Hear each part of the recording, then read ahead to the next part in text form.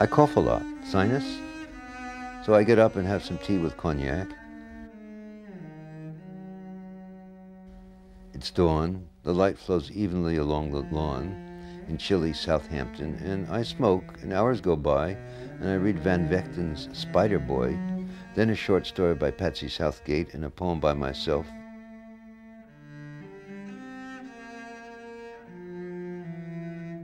It is cold, and I shiver a little in white shorts, the day begun. So oddly not tired, not nervous. I am for once truly awake, letting it all start slowly as I watch instead of grabbing on late as usual. Where did it go? It's not really awake yet. I will wait.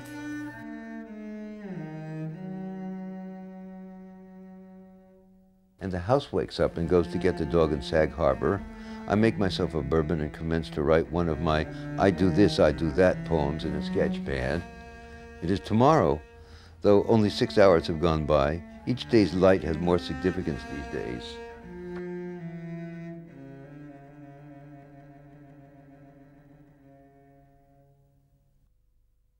I wasn't with Frank the weekend that that fatal weekend uh, he went to Water Island, uh, uh, which is actually a remote part of uh, Fire Island, this thin island right alongside Long Island, outside of New York City. Uh, he was there for the weekend with uh,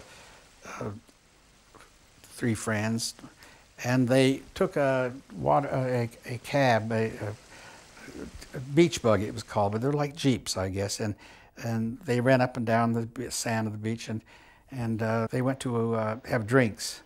And when they were coming back around, maybe it was three, four in the morning, uh, they had trouble with the vehicle. He was taking a beach buggy to someplace and they got a flat.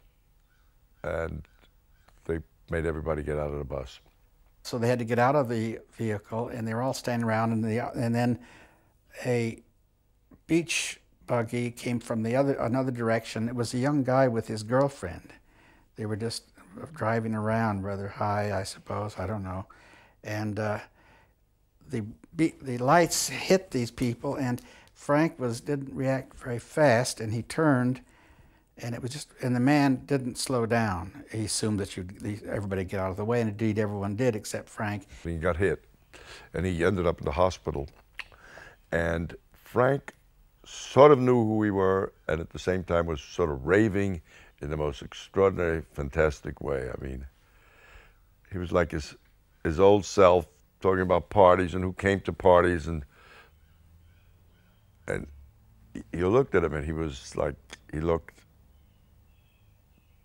you know, he had purple wounds, so to speak, and marks on him and things like that. So it was a very trying moment and so he, and suddenly they told us he, you know, perished. They said he was getting better. He died uh, gratuitously, stupidly. Uh, one of those things that shouldn't have happened.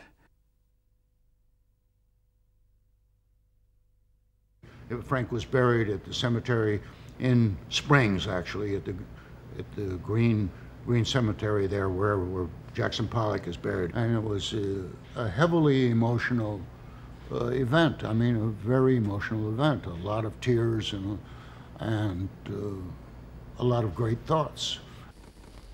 City, midnight, junk, strains for Frank O'Hara.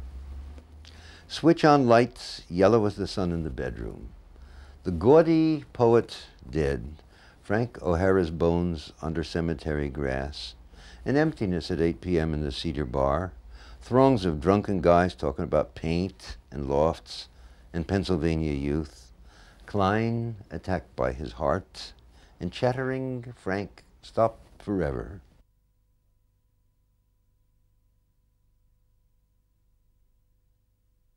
Young America was feeling good about its artistic legacy for the first time in history and um, was really cruising along at a very happy speed. And then suddenly Frank was gone, and people were stunned and began to realize how important he was to them. I mean, I, I still miss him. Uh, not extravagantly, but I still miss him. I still think of him. Uh, I mean, some deaths fade. You, the individual fades, really fades. You don't uh,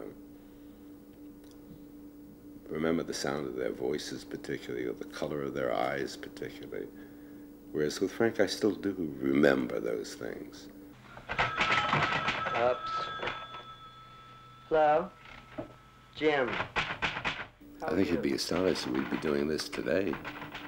That we, we're sitting here talking about him this way, making a movie. What did you do? You went to the uh, Kansas City, I suppose. Yeah. This is a very peculiar situation because while I'm talking to you, I'm typing and also being filmed for educational TV. Can you imagine that?